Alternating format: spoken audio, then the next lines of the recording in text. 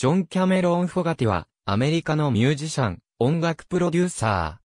クリーデンス・クリア・ウォーター・リバイバルを率いた、ギタリスト・ボーカリストとして知られる。兄も、同じミュージシャンの子トム・フォガティである。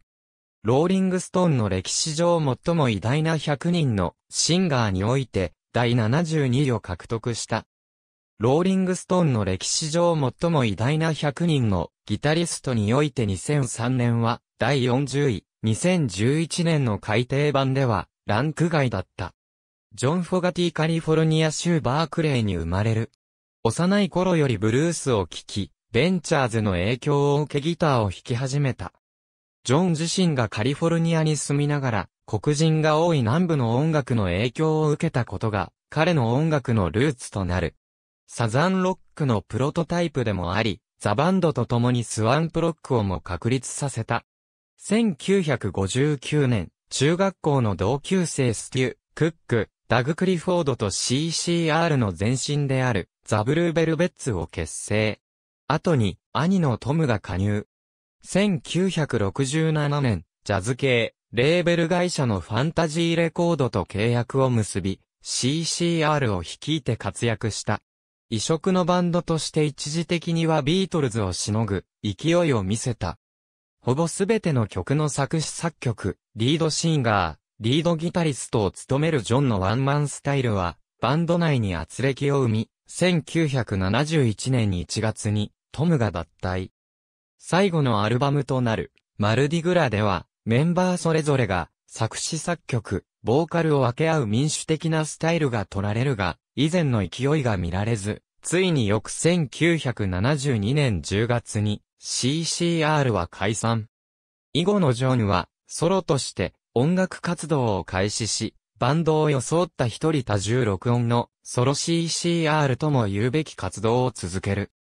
1973年にファンタジーレコードからソロ初のアルバム、ザ・ブルーリッジ・レンジャーズを、翌々1975年にアルバム、ジョン・フォガティを発表するが、同時にファンタジーレコードの元マネージャーで、社長でもあるソウル・ゼインツとの金銭面と、著作権による契約問題で訴訟を起こすなど、好きな歌が歌えなくなったため、ジョンは、心身疲労となって、ミュージシャン活動を事実上休止していた時期もあった。しかし、信仰があったボブ・ディランらの支えもあり、1985年に、ジョンが移籍したワーナーミュージックから、アルバム、センターフィールドを発表して、ビルボードの1位を獲得。翌1986年にもアルバム、アイ・オブ・ザ・ゾンビを発表したが、前作のようにヒットはせず、さらに追い打ちするように、センターフィールドに収録された曲のオールドマンダウンザロードがソウルゼインツから CCR 時代の曲であるジャングルを超えてに類似しているために著作権に抵触すると指摘され、さらに同じく収録された主戦やつを意味するミスターグリードやバンズカントダンツもソウルゼインツら経営者を揶揄する曲であると訴訟されてしまい、ショックを受けたジョンは再びミュージシャン活動から離れた。1997年にミシシッピのデルタ地帯を旅した経験をもとに制作され、ユニバーサルミュージックからのアルバム、ブルームーンスワンプはグラミー賞最優秀ロックアルバム賞を受賞した。1998年にハリウッドオークオブフェームの星を獲得。2003年にザ・ブルース・ムービープロジェクトを締めくくるコンサートに客演するなど、やや消極的であるものの健在ぶりをアピールしていた。2005年には、ソングライターの殿堂入りを果たした。2007年に訴訟問題が解決し、ソウルゼインツらと和解したジョインは、古巣のファンタジーレコードから、アルバム、リバイバルを発表。2009年にユニバーサルミュージックから、アルバム、ブルーリッジレンジャーズライズアゲインを発表し、2013年にアルバム、ロートアソングフォーエブリワンを発表し、CCR 時代の曲を様々なゲストミュージシャンと共に再演している。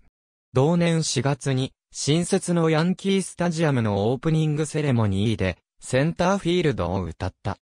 2010年にフジロックフェスティバルの出演のため、CCR 時代の来日以来38年ぶりに、日本の土を踏み、現在のジョンも CCR 時代から変わらないストレートな音楽で精力的に活動をしている。2020年、新型コロナウイルスの流行により、各国で外出禁止の措置がなされる中、フォガティは3月24日から自宅で撮影したライブを精力的に配信。家に留まることと手を洗うことを訴えている。雨を見たかい、バッドムーンライジング、光ある限り、ルッキンアウトマイバックドア、ダウンオンザコーナー、フールストップザレイン、フォーチュネートサンなどを、これまでに演奏した、ジョン・フォガティ。ありがとうございます。